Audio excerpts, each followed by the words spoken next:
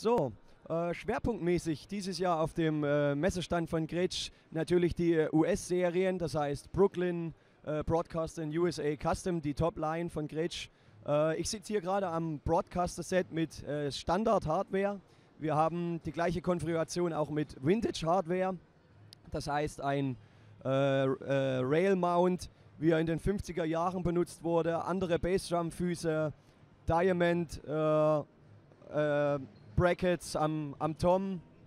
Also wirklich das, äh, das Replika von einem 50er Jahre Gretsch Set, wie es auf den Stones-Platten und den ganzen alten legendären Scheiben gespielt wurde. Äh, es ist wirklich ein sehr schönes äh, Set. Wir haben dreilagige Kessel, äh, wieder die klassische Gretsch-Formula mit äh, Ahorn, Pappel, Ahorn. Ähm, wir haben Double Flange Tubes.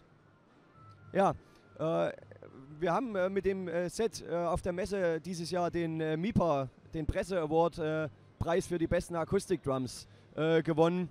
Und ich finde zu Recht, es ist wirklich ein sehr, sehr schönes Set, es kommt sehr gut an bei den Leuten.